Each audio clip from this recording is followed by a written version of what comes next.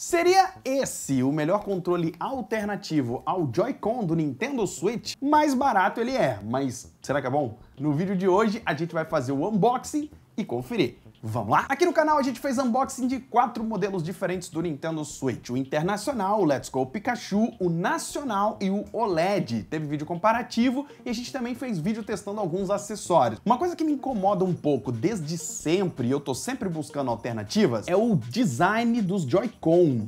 Eu acho eles lindos, mas eu tenho mãos grandes e às vezes eu jogo muito tempo sem parar, o que faz com que minha mão fique doendo, com cãibra ou às vezes meio dormente. E eu já vi que isso acontece com outras pessoas também. Talvez não com você que está aí assistindo, mas eu sei que também vai ter gente assistindo que se identifica com isso. Eu nunca tinha testado nenhum controle que não seja o Joy-Con oficial. Um mês atrás, o pessoal da Nixie Game entrou em contato sobre um novo modelo de Joy-Con alternativo feito por eles e perguntou se eu tinha interesse em testar. Eu disse que sim, claro, né, galera? Porque eu amo testar acessórios para o Switch. Eles me enviaram não só o novo Nixie Game, como também uma dock station para poder carregar os Joy-Con. Eu testei por um mês para poder fazer esse vídeo para você. E a gente vai botar aqui pontos positivos e negativos também, tá? Valeu, galera da Nixie Game, por enviar pra gente os controles pra gente poder testar. Vocês viram aí o unboxing. O Nixie Game é um controle wireless pro Nintendo Switch. E na caixa vem os dois controles, o frame, que você pode usar para conectar os controles e usar como um controle único, o cabo USB para recarregar e o manual de usuário. Um aviso importante, tá, galera? Esse frame aqui do Nixie Gaming, que vem junto com o controle, ele é só bom para você conectar os controles wireless. Não tenta colocar o Joy-Con aqui,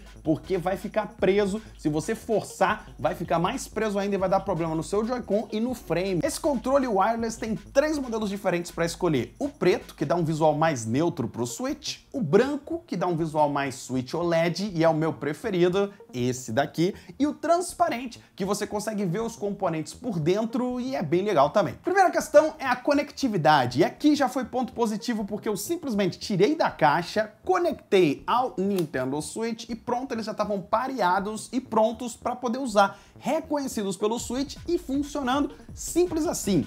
Eles pedem para que logo que você abrir o produto, você carregue cada um dos controles por duas horas, colocando o cabo nessas entradas USB aqui, o cabo que vem junto, e eu acabei fazendo isso carregando no próprio Nintendo Switch docado. Não vi problema não. Visualmente, a gente já começa a reparar na diferença de design. Os controles Nixie Gaming são mais robustos, mais grossos, possuem uma curvatura aqui na parte de trás, que dá uma pegada mais confortável para o jogador e evita que a gente fique com cãibra ou dormência se a gente jogar por muito tempo. Gostei muito disso, então ponto positivo. Uma outra coisa que me agradou muito foi que com o tamanho maior das coisas de forma geral, a gente tem botões maiores e mais bem localizados, o que é perfeito para quem tem mão grande, ao contrário dos Joy-Con, que possuem os botões bem pequenos, pelo menos para minha mão. Os analógicos são do mesmo tamanho dos analógicos do Pro Controller, que já são analógicos maiores se comparados aos Joy-Con e são muito confortáveis. Eu amo o Pro Controller. Todos os botões aqui são maiores do que os do Joy-Con. Se vocês repararem lado a lado, percebem o tamanho dos botões dos Joy-Con, no Pro Controller e no Nixie Game Wireless. Os botões de ombro também têm uma pegada legal e um aperto ergonômico. Na parte traseira aqui, ó, existe um um relevo. Esse relevo facilita a pegada e evita que ele escorregue.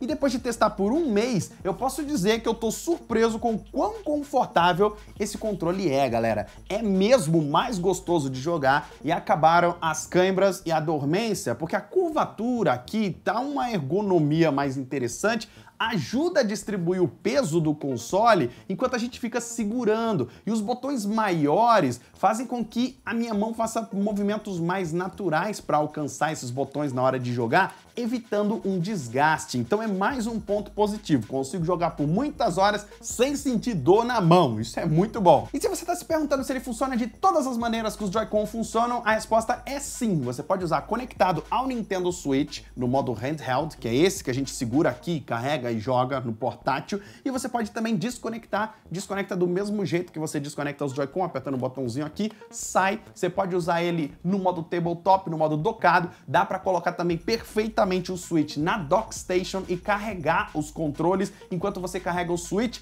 sem problema algum, não vai ter problema nenhum. Só deslizar ali, tá suave. Além disso, o Nixie Game Wireless Controller é recheado de funções extras. Tem vibração customizável em ambos os controles, giroscópio de seis eixos que permite jogar games que utilizam a função do giroscópio do Switch, que é aquela que você mexe o controle, ele reconhece o movimento, e games com motion control ou o próprio controle de movimento. E galera, antes de listar as outras funcionalidades, eu me deparei com o primeiro ponto negativo do controle. Como ele é feito por terceiros, não parece que tem suporte à atualização de software que o Switch exige de vez em quando. Sabe quando você abre o seu console e fala atualizar os controles? Eu fui testar no Switch Sports, por exemplo, que é um jogo recém-lançado, que a gente fez gameplay aqui no canal, que usa muito controle de movimento, e simplesmente o jogo e o console travaram na hora que eu apertei para atualizar os controles. Imagino que ele estava tentando ler a atualização e não conseguiu e aí deu ruim. Eu imagino que seja isso por falta de suporte a essas atualizações que o Joy-Con nativo tem e esses controles alternativos não possuem.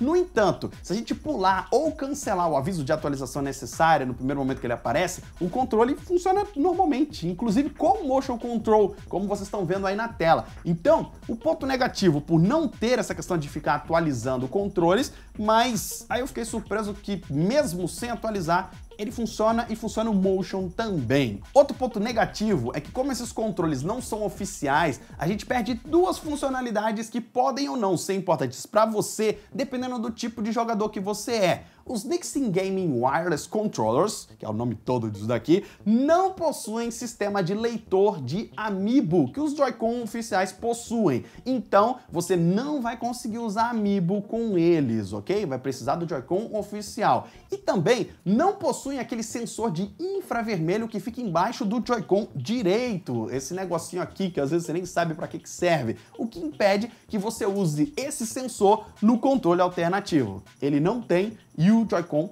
tem, tá bom? A boa notícia é que nem a Nintendo usa esse sensor na maioria dos seus jogos. É um sensor interessante, uma tecnologia interessante, mas um game que utilizou o sensor e a tecnologia infravermelha como teste foi o One Two Switch, aquele que lançou lá perto do lançamento do Switch, que mostrava um sensor de movimentos. Tem também alguns jogos do Labo e alguns outros jogos avulsos. Eu, pessoalmente, acho que eu nunca usei esse sensor aqui, então nem chegou a fazer falta para mim. Mas se você é um usuário de vários amigos e precisa do controle para ler o amiibo, ou você é um pro player de One Two Switch, pode ser que seja problema para você a ausência dessas duas funções no controle alternativo. Ele não vai trazer isso, tá? E já que a gente entrou nos pontos negativos, vamos já falar deles. Um outro fator é que por ser mais grosso e maior que um Joy-Con, se você carrega o seu Switch para todo lado, vai precisar de um case especial para você poder carregar com cautela. Aquela embalagenzinha, né? A própria Nixie vende um case específico no site dele, se você já quiser comprar, tá bom? É, você coloca lá, vem tudo certo. Eu gosto muito de case cases para o Switch e eu acho que vale a pena quando você usa na mochila ou na mala para poder andar com ele, você anda com ele arrumadinho. Então pensa nisso. Você pode também colocar o Switch na case normal dele, que você provavelmente já tem, e levar os controles separados, embalados bonitinho. Então pode ser um ponto negativo, pode, mas pode ser um ponto que não interfere para você, tá? Mas é bom mencionar que se você comprar isso aqui, por ele ser maior, não cabe na case padrão. E mais um ponto negativo, se você é uma daquelas pessoas que gosta de usar o Switch e usar cada um dos Joy-Con como aquele controlinho que você vira ele assim para poder jogar com algum amigo, essa curvatura do Nixie Wireless atrapalha um bocado, fica ruim de segurar. Você consegue usar, ele tem uns botõezinhos de ombro aqui para você poder usar e tal, mas fica desengonçado e sem jeito, é como se tivesse um treco na frente da sua mão. Como eu pessoalmente quase nunca jogo desse jeito aqui, não é problema nenhum para mim, mas é bom mencionar que se você joga no controlinho, pode ser que não seja o controle para você. E o último ponto negativo, antes da gente voltar aos pontos positivos, é que eu reparei que às vezes ele liga a luz sozinho, mano. O switch tá desligado e aí ele liga a luz. Eu fico na dúvida se tá gastando bateria do console ou o que tá rolando. Eu ligo a luz do controle, tá? Porque ele tem luz e a gente vai falar disso já já. O switch fica desligado mesmo. E ele liga, depois desliga. Eu reparei que acontece com outras pessoas que utilizam o Nix Game, então é algo normal mas é esquisito.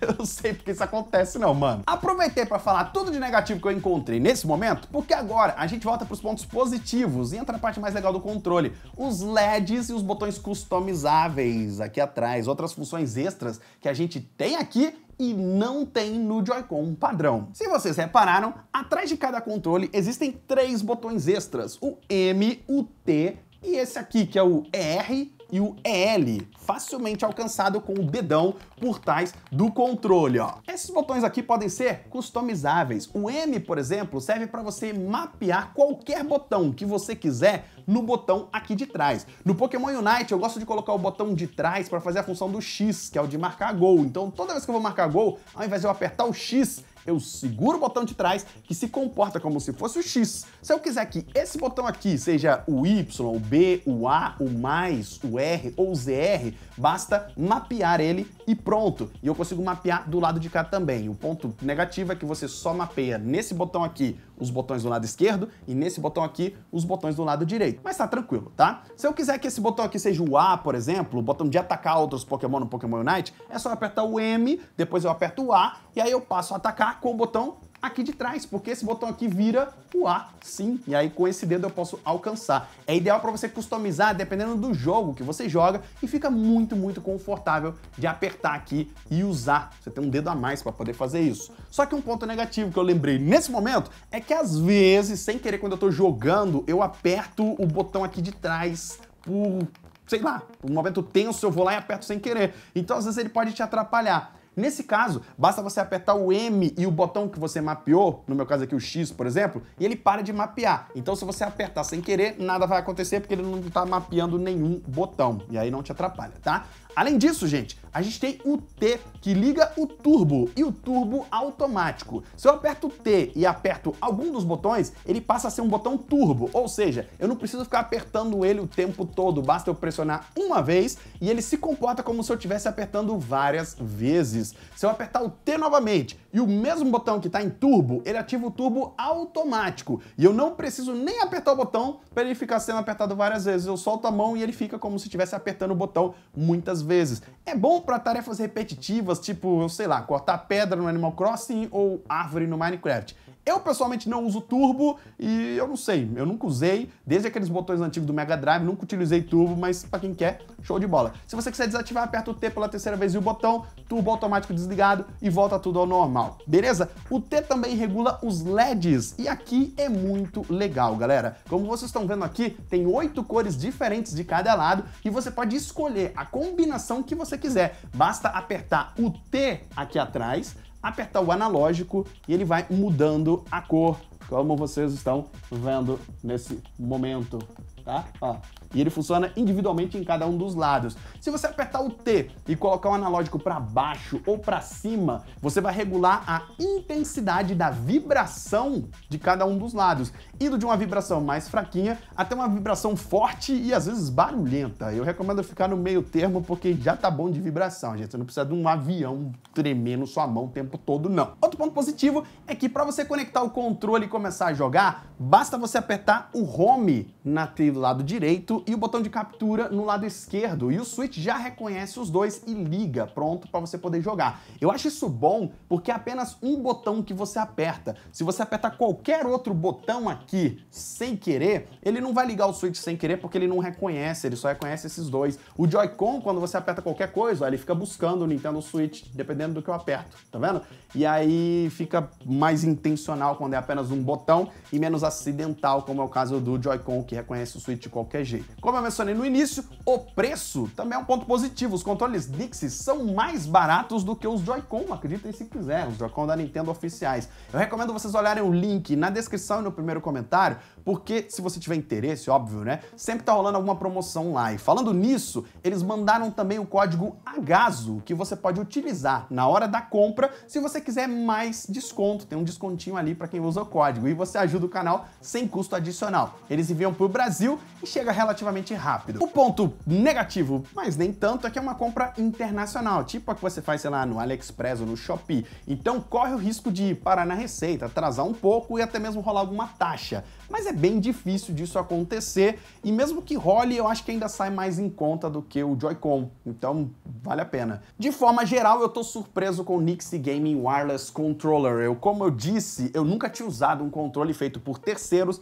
e, caras, eu gostei demais. Ele não tem o leitor de amiibo, nem o leitor infravermelho, mas funciona perfeitamente em todos os outros aspectos, possui uma pegada mais ergonômica e é excelente para quem tem mão grande, gente. Isso é fundamental. Apesar de alguns pontos negativos que a gente listou aqui, os pontos positivos superam demais e eu acho que esse é agora o meu controle favorito do Switch, passando inclusive o Joy-Con. É, Talvez seja o que eu vou usar aqui com frequência. Se você gostou, deixa seu like, compartilha com seus amigos, se inscreve no canal e manda um oi aí nos comentários, eu amo ver vocês. E se você clicar no link e for comprar, não esquece de usar o código AGASO para ter ainda mais desconto. Se não me engano, é 10% de desconto e... né? desconto é muito bom.